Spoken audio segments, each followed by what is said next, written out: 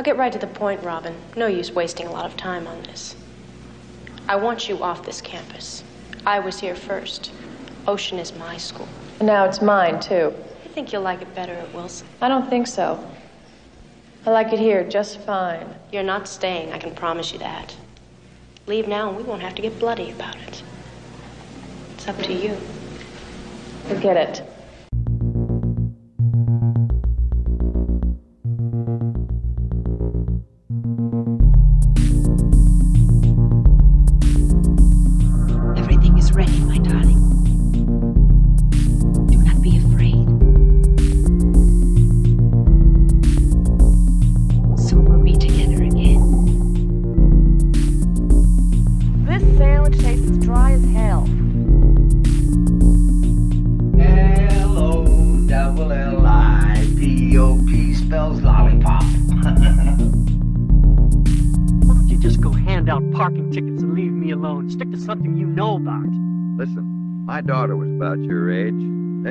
Guy like you. Now she's dead. You should believe in ghosts, P-Brain. He's a closet! Don't hurt me, please! Don't keep me waiting for those onions, Herman! This is all the whiskey you possess? Everyone out of the way of the bulldozer! Hello and welcome to Hello, this is the Doom Show. I am Richard. Folks, we're getting witchy up in this hi- hitchy, up in this house, the witch house. uh, we are talking about Midnight Offerings, which uh, aired on February 27th, 1981. But folks, that's not what's important. What's important is I have a very special guest co-host on the show. It's LeEtta. Hi. Hi. LeEtta is totally here to talk about this movie with us because we're gonna get weeachi. Because um, LeEtta once said to me, "I'm gonna make you my weeach." No, I never said that. you probably dislike that line. That's the best. of, of all the lines in that movie. That's the best line in the movie. This movie was directed by Rod Holcomb and written by Juanita Bartlett. I don't know why I said Bartlett like that. Uh, we'll talk about them in a moment. Uh, I could not find a proper trailer for this thing because it was a TV movie, and I couldn't find a 1981 commercial for it. I was really hoping for one of those, but I found two commercials for it, very short ones from the 90s that are very wonderful with that voice to get you excited about the movie. So I grabbed those. Here's not one but two TV teasers. I know what you are, and I know what you can do. This year, Ocean High School isn't hosting the usual homecoming celebration. Watch a whole night of horror beginning with Midnight Offerings, Tuesday at 8 p.m. on TNT. It's happening again, Danny. The most popular girl in school is a real witch. Midnight Offerings coming up next. The October movies, Be Afraid. Okay, so of course, we're going to spoil this thing. We're going to talk about it. And big shocker, I couldn't find it even a VHS. I found a VHS uh, in Dutch, but it wasn't funny to translate into English. Like I was going to translate it into English, but it didn't it didn't make me laugh. It was just a big pain in the butt. So I said, "Screw it." So I'm to trust good old IMDb's plot synopsis for this. So here we go. Vivian has magic powers. She doesn't hesitate to save her boyfriend David from failing in school by murdering teachers. However, David has gotten tired of her and is putting his charm on a new girl in school. Is that what you call it? Oh, Robin. Oh, is that is that like pinning somebody? he gave her a charm. Yep. He, he was putting his charm on her, like like pinning it to her sweater, right? He baked her a cake, and instead of giving her the charms for the charm bracelet, he baked them in the cake, and then she ate the no, charms. that's like twelfth night cake. You bake the charms in the cake, and then when you find them, you get lucky. But what if you don't find them until you've already digested the cake? Then you don't get so lucky. You get horrible stomach pains. Robin discovers that she also has magic powers, and it comes to a mental showdown between the two women over da- over David. That wasn't acting. I actually choked on his name. That's what I get for questioning his charm ability. Rod Hol- Holcomb, Holcomb, he didn't do a lot of horror stuff, but he did a show. He he directed some episodes of a show that we watched one time called Moonlight. It was about the vampire. Oh, the Vampire Detective. Yes. I love that show. Yes, he produced a few and directed a few of those. Uh, Juanita Bartlett, uh, she was a big time writer, producer for TV. She wrote a ton of episodes of The Rockford Files, as well as uh, TV movies for The Rockford Files. Uh, she wrote some episodes of Greatest American Hero, and she co wrote the teleplay for something we watched that was something we watched called Planet Earth, where John Saxon and his crew wakes up in the future from being uh, underground and they're in their like ATV Oh wow. vehicle traveling around in the future and, and women and men are like there's a war of the sexes and men are slaves. Yeah, Planet oh, Earth. Wow. I know- had magic wands in it. I don't know if that was a look of rec- recognition or terror. Ah, so this opens with uh, we get some uh, classic music, some nice, wonderful TV music, as you get in the early '80s, and uh, Black Cat, and I said, "I'm in. I love this already." And uh, as soon as uh, our our star here, uh, Vivian, starts casting spells, I said, "Dude, this Teen Witch prequel is dark, bro." Dark and confusing. but Vivian is played by Melissa Sue Anderson. Um, I know her best from Happy Birthday to Me, but people who aren't me might notice that she was also in like every episode of Little House on the Prairie, which I have erased from my mind, except for the evil blonde girl with the curling cues. I remember the blonde girl. I do not remember almost anything else about it. Oh wait, was she supposed to be the main brunette? She was the elders, the elder sister. Okay, I do remember her. And I only remember her because Little House on the Prairie was one of my grandmother's favorites. Nice. So if the TV was going to come on, it was going to have something like that on. and we wouldn't want it any other way. I love her in Happy Birthday to Me because I think she was trying to do the breakout of her typecasting from Little House. So she did uh, this and Happy Birthday to Me, where she played.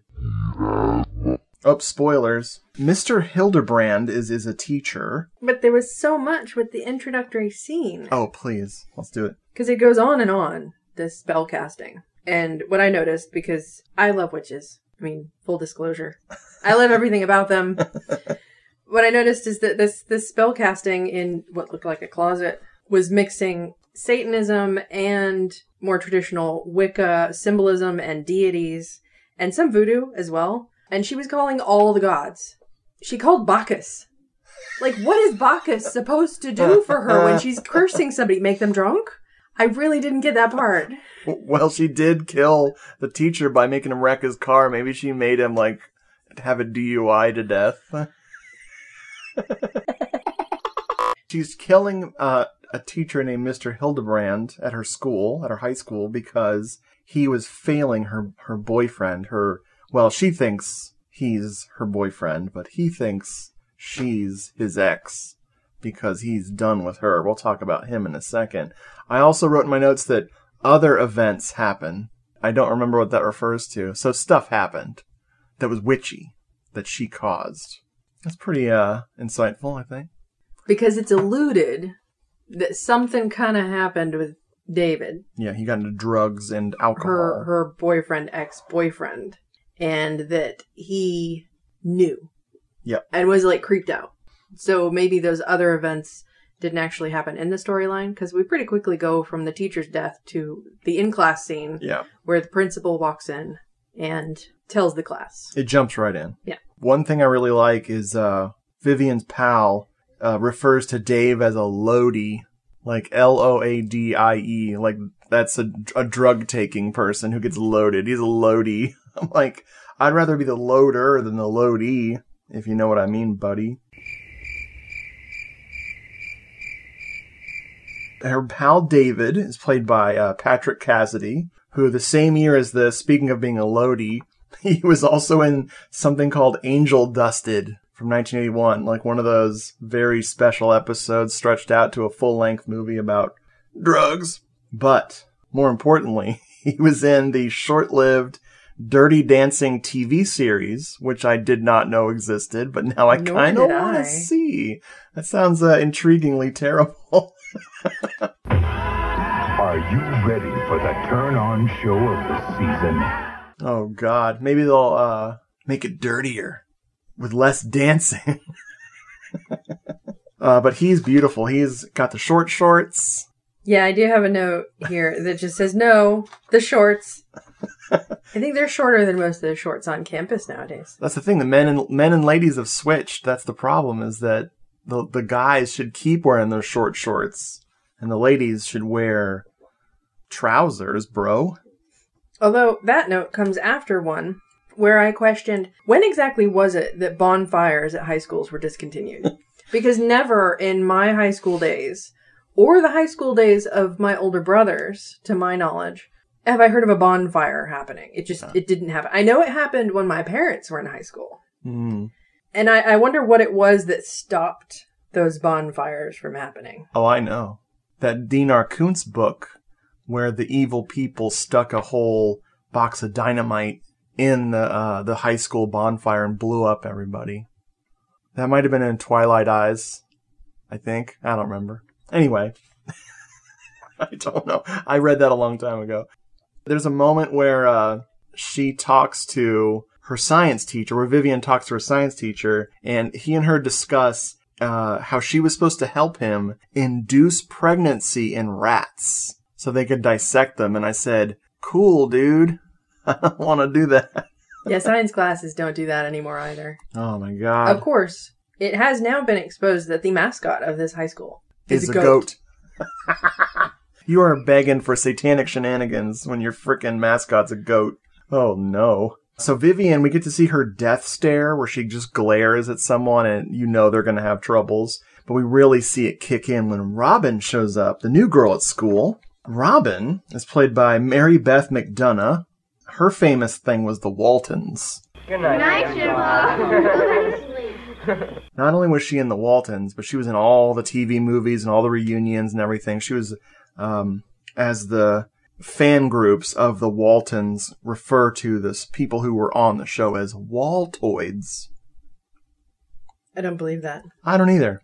Uh, but I know her best from a little movie called Mortuary with uh, a young Bill Paxton, which, which, which, which could be coming to this podcast soon, Brad. So Robin shows up. Um, her mother is her mother's dead. Yes. She's living with her father. You know, she's the new kid in school. And It might have already been alluded that Robin is the new kid in school because they moved to start fresh. Yes. To get away from something they left behind. Um, her dad is, is named Charles, and he's played by uh, Peter McLean, uh, MacLean, or MacLean, from uh, a little movie called Squirm that is uh, the most disgusting horror movie about worms to this day. Killer Worms. It still freaks me out. I do not own a copy of Worms. I enjoy the movie, but I cannot look at it. It's so freaky. But he played the sheriff in that movie. Uh, he was also in uh, Force 5, same year as this. And uh, he was in The Friends of Eddie Coyle, which is one of those movies that movie people like me are obligated to mention. I've never seen it. She instantly hits it off with David, um, and he's, you know, bemoaning his drug use uh, and, and his, his former drunkenness and, and wrecking the car and all this fun teenage stuff that he got into. They go to the beach, and you think he's going surfing, but they said we don't have the budget for the surfing shots. So they just sit on the beach and he bemoans the days when he could surf. And I wrote in my notes, I long for my surfing days too, dude. and I'm doing the, the devil horns at the microphone for some reason. And of course, David's interest in Robin is the reason why Vivian gave her the death Yes. stare. But Yes. also of note is that apparently David's transgressions were big enough to make it front page news. Um, and Robin's dad does not like this guy showing up. Instantly. He recognizes him. Yes. He's like, no, this is the kid from the newspaper. They're they're new in town, and he already knows. Like they have it posted, like it's a recurring news item. Like uh, Dave has a frickin' the Lodi Times or some shit. Right now, I'm just trying to stay out of the white water and get to the beach, okay? Okay. We won't talk about Vivian. Hey, uh. Look, I'm sorry. I. I've been in a lousy mood lately. I, I didn't mean to take it out on you. You're not. Besides, you're my first friend. Without you, it might have taken me days to find the Pacific.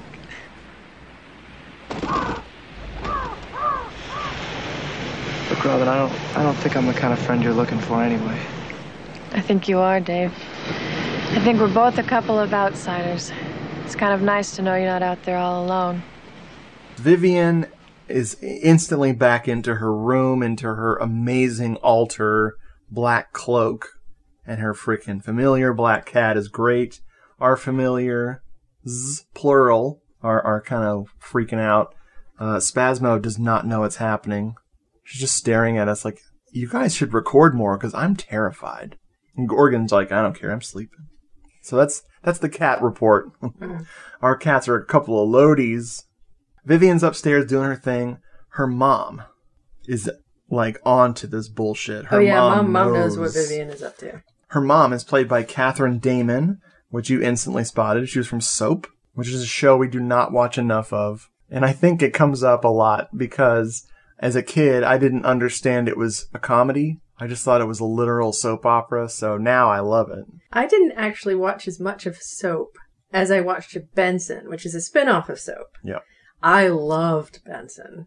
It was one of my favorite childhood shows. I think by the time I was around watching those TV shows, my dad, I know for sure, was totally over soap. he had just had like saturation. He wasn't going to watch any anymore. He didn't want me to because that means it would be on in his house. But Benson was fine. He was saturated with soap suds. yes. I knew it. That Halloween episode of Soap we watched, that was amazing. That was so good. When uh, Blacula shows up, that was so wonderful. I'm pretty sure it was Blacula. I'm not looking it up. I thought it was the Hall- or you mean the Halloween episode of Benson? Yeah, he didn't. He wasn't a vampire. He played the He was devil. Death. He was death. Yes, He's he played. deaf. Yes, that was an amazing episode. He was the Blacula Weird Devil Death. creepy. That was good. I enjoyed it. But yeah, mom. We'll find out why mom is so like, mm, stop being magic. Well, see, I got a hint here. So What- early on hint? in my notes, when Vivian comes downstairs and mom is asking her some pointed questions, but not really revealing a lot.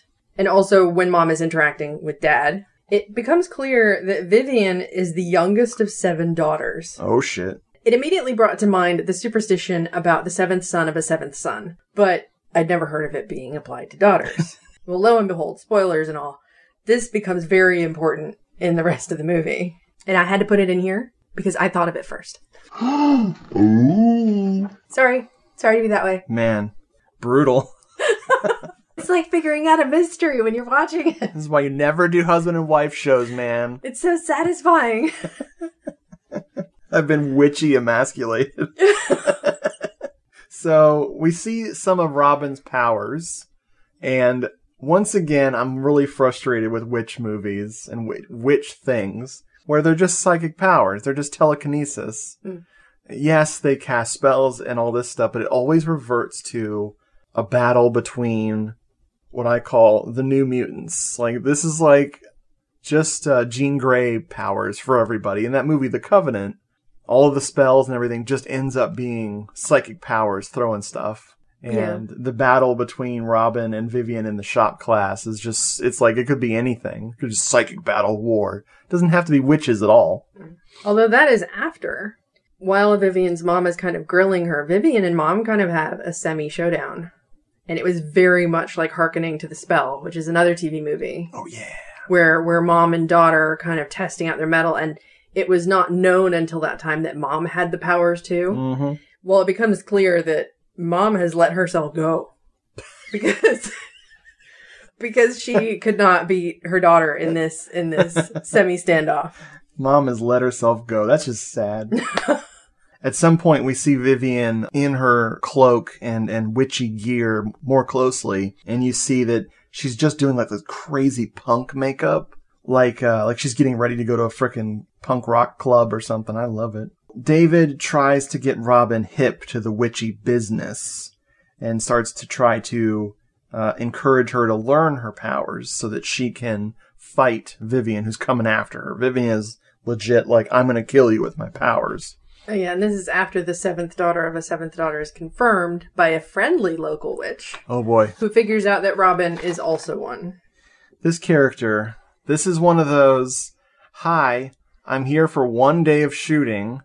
I'm going to interact with these two people in this house, in this set. Then we're all going to change our clothes and we're going to interact with these people in this set again. And then I'm out of here, brother.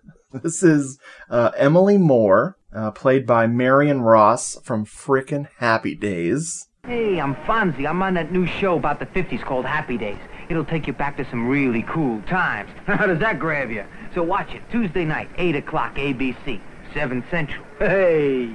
Oh my god. And she's she's this guru witch who's going to teach Robin all that she needs in a very short amount of time because Robin has 2 days left to live according to Vivian. Oh, and there's there's a moment where um we see that Mrs. Moore her skirt matches her chair and I wrote in my notes that's not a euphemism. okay. Among Vivian's powers is you know her cat is her familiar, so she can kind of spy on people and stuff with her cat. And the cat will defend her. But the big thing she does in the best scene in the movie is she frickin' turns into a crow. And as they're driving down the street in uh, frickin' Dave's badass Lodi van, the crow flies into the window and is attacking Dave while he's driving. And so there's this crazy sequence where they're freaking all over the highway with the bird squawking at him and getting in his face. Oh man, it was so good. I have a trivia. Oh, bring it. It's not a movie trivia. So the friendly neighborhood witch calls Vivian a Hectite witch. Oddly enough, though I love witches, I'd never heard of this before, so I had to go look it up. And there are three different definitions, like anything else in Webster's dictionary. And the third definition means that it's someone with telekinetic powers Oh boy. that sort of ebb and flow in concert with the phases of the moon. They're usually born with a birthmark and they can impart powers to others. They're considered true witches. Gotcha. And I say this with air quotes. So that's another part of the two days to live for Robin is because the full moon is coming, at which point Vivian will be at, at the, the strongest of her powers. Oh. I just thought she was a heck tight witch, bro. I don't know if that's a slang. You could make it one. it's too late. I did it. At some point, Dave says, super, but I don't know what, what it was referencing at all. Vivian's father is played by Gordon Jump of WKRP, which in is Cincinnati. which is fantastic show, one of the greatest uh, frickin' sitcoms of all time. More important than that, though, his character's name is Sherm, like short for Shermacular. Or Sherman? Maybe Sherman. I like Shermacular. Uh, so we're gonna fast forward to the end here. So, uh, Dad's in the hospital. yes, Dad's in the hospital. Uh, Vivian is using uh, Robin's sick daddy, and she's gonna kill him if frickin' Robin doesn't meet her on the night where she's supposed to kill her at the school. So we go to the nice creepy school. Where the unlit bonfire is waiting. Yep, and it gets lit. Bro. But not before goat attack. yes, she enlists the power of the goat. like I said, get a nicer mascot. Get a rabbit. Well, but then you have magician problems. I've seen water Watership Down. Rabbits are not nicer mascots. you can't get an owl either because of Harry Potter. So they have their big showdown, and Robin is not doing very good. She's about to get burned alive on the uh, the bonfire, and that's when Vivian's mom shows up and sells her out because I don't think she liked her daughter at all, or she was scared of her. Well, Vivian did threaten to kill her during their semi showdown in the kitchen before. It's just it's just hormones. It's just hormones. In my notes, calling back to that, I do have a question about whether Tabitha ever rebelled like that against Samantha. Because we see Tabitha at the end of the show, but she's nowhere near teenage years. Nope. She could have Yeah. been really horrible and murderous to her parents. Yep. When you when you spoil dad by getting him that awesome job at the construction site, he will in turn spoil you and buy you a car you don't deserve because you're the daughter of Satan. Yeah, that's That- Vivian, not Tabitha. Maybe this is just an unlicensed Continuation yeah. of Bewitched. It's a it's a modern retelling of the classic tale. Oh wait, wait, Vivian's mom did give up her magic. Oh. To get married. Damn it. Ladies never settle. never settle. Uh, so Vivian and uh, excuse me, Vivian's mom and Robin team up with their psychic carry powers to uh, to destroy Vivian by throwing her on the bonfire. After this great moment, like this totally awesome moment where Robin jumps away. She jumps out of the, the bonfire. She just jumps out. And I was hoping they would throw that sound effect from the uh, Six Million Dollar Man. Da-da-da-da-da-da-da-da. Like, that would have blown my mind. Oh, I would have Wait, loved did they that. do motion trails on her jumping out? No, but they should have. She saw trails because teen teen drug use. So that's the entire plot of this movie. It's a very simple movie. It does not have a lot going on. Um, like uh, I was reading uh, Amanda Ray's book, uh, "Don't Go in the House." I quickly peeked at her review of this, and she said that a lot of this is just the teen drama, the back and forth with everything. But yeah, before we talk about how we like this one or not, let's have a commercial break.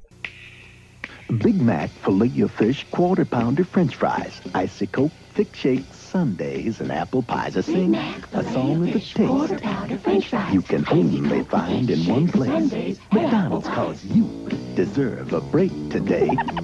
Big Mac, Filet of fish. quarter pounder, french fries, Icy Coke. thick shakes, sundaes, and apple pies. And the cup ran away with the spoon. What makes this land terrific? We got something more. Broadway lights, disco nights, something more. And a brand new soft drink like you never had before. Something more. It's so luscious, hey, they're gonna say it's something more. Rambling Root something more. More mellow, more foamy, more creamy. Oh, Rambling Root something more. Try new sugar-free Ramblin' too. Every day in the United States, 50 people are murdered. Few of the cases are ever solved. Only the best reach the 6 o'clock news. For TV reporter Tony Sokolow, this man could be the key to her most important story. Or her last. Hello, police. William Hurt, Sigourney Weaver, Christopher Plummer, Eyewitness, rated R. Starts Friday, March 6th at Avco Westwood Pacific Hollywood in a select theater near you. Do you like your hush puppies? I like my hush puppies when I'm spreading a little cheer. Cause anything goes with hush puppies. I like my hush puppies when I'm advancing my career. Well, you're stepping out feeling fine and it shows. Put your feet in hush puppies and anything goes. I like my hush puppies when I'm playing Mountaineer. Anything goes with hush puppies. Especially you, my dear. Yeah, anything goes with hush puppies. So I've grabbed a whole bunch of 1981 commercials. So I'm gonna drop some sweet commercials in here. I don't even know what they are yet. Man, we need to watch a movie where you can put an Ovaltine commercial in. In 81, people were still drinking Ovaltine. No, we need to watch a movie that was out with Ovaltine, so we we could do that movie. Like we do Bell Book and Candle, right? They would have had Ovaltine commercials then. We need to watch things where we're Geritol. We'll get our Geritol. Yeah. Okay, so uh LeEtta, how did you like Midnight Offerings?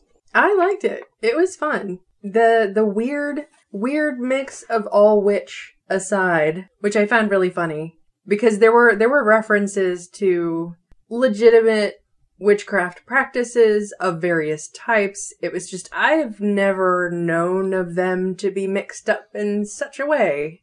I mean, to be praying in front of an altar with Baphomet, the goat head in the inverted pentacle, and calling on the god of the Wicco religion, along with Hecate and Bacchus, is just a little odd and nothing I've ever seen before, but kind of funny as well. right? Why not?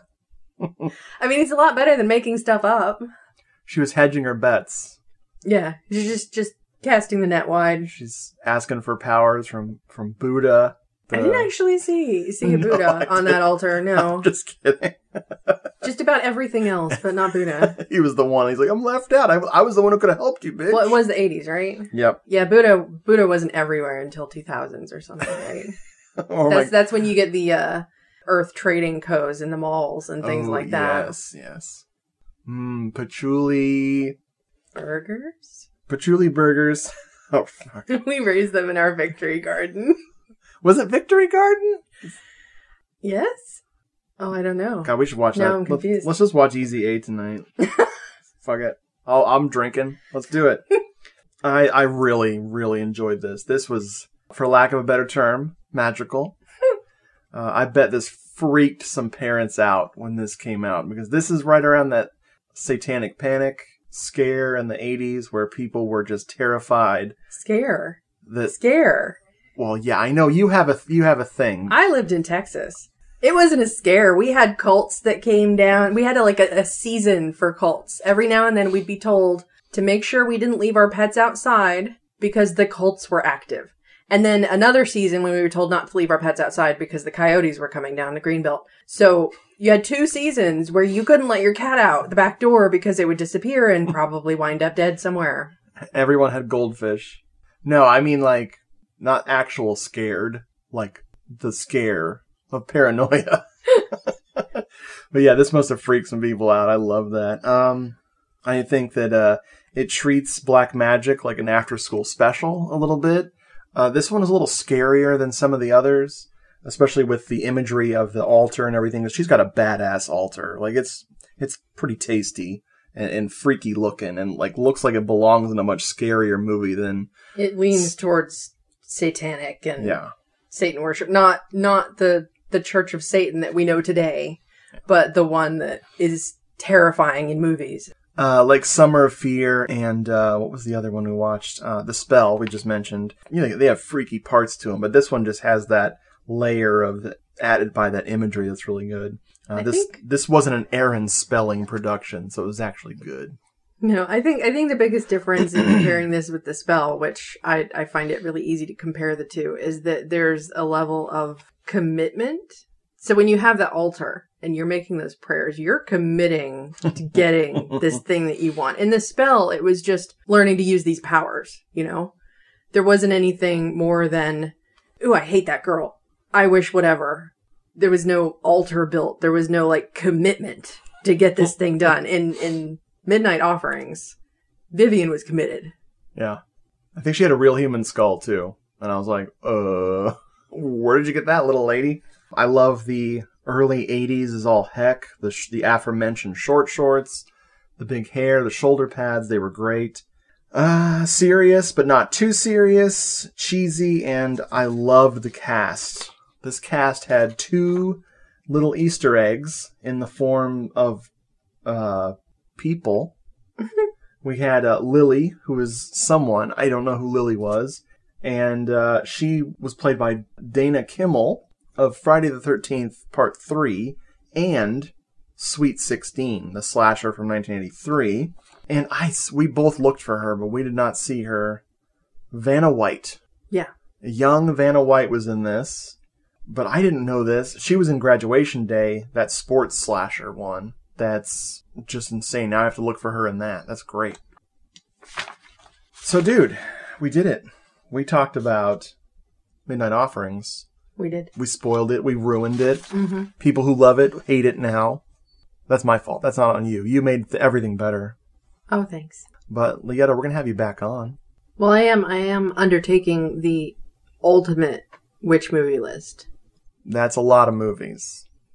It was more than I initially expected because when you think of witch movies, a few come to mind. Some which aren't really enjoyable or focused on the witches. Mm. It's kind of hard to find them when you want like focus on witches, not disgusting. Okay, I got it. We'll watch Easy A, then we'll watch Teen Witch. Boom, there's a double feature. Well, thank you. Thank you for joining me. My pleasure. I know where you live. You do? No. Oh, okay. I was bluffing. Folks, thanks for listening. Uh, LeEtta will be back, and I, I'm sorry, but I'll be back. Bye. Bye.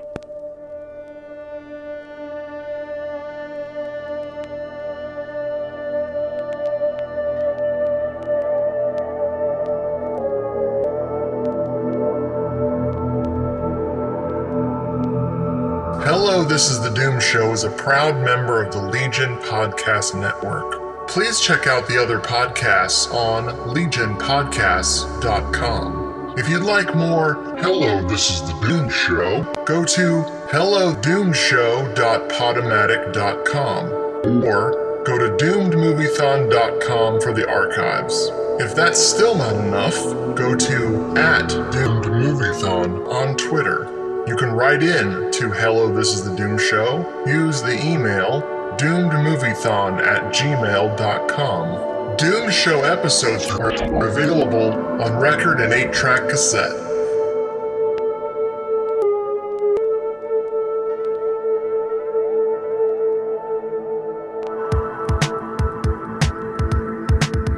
If you enjoyed this show, then make sure you check out the other great shows on the Legion Podcast Network, like Cinema Psyops, Cinema Beef, Devour the Podcast, Duncan and Bo Come Correct, Exploding Heads Horror Movie Podcast, Friday the 13th, Get Slayed, The Helming Power Hour, Hello, This is the Doom Show, Hero Hero Go Show, Kill the Cast, Underwater Kaiju from Outer Space, Jerry Hates Action, Legion After Dark, Mental Health, Obsessive Cinema, Discourse, Pick Six Movies, the podcast by The Cemetery, the podcast on Haunted Hill, the Psychosemantic podcast, Rick Radio, House of Wax, Dude Looks Like the 80s, Rabbit and Red Radio, the Shadecast, Short Bus Cinema, Two Drink Minimum Commentaries, the VD Clinic, Who Will Survive Horror Podcast, and Witch versus the Doomsday Clock. With such a wide spread of shows, there is guaranteed to be a niche for you to fall in love with. Horror, politics, movies, books, sex, music, commentaries, health, video games, kaiju, action, news, comedy, and opinions that would most likely get you killed in some parts of the world. We are proud to bring you some of the best podcasting in the world. Check us out at www.legionpodcast.com, iTunes, Spotify, Stitcher, YouTube, and any other dark corner of the internet where podcasts can be found.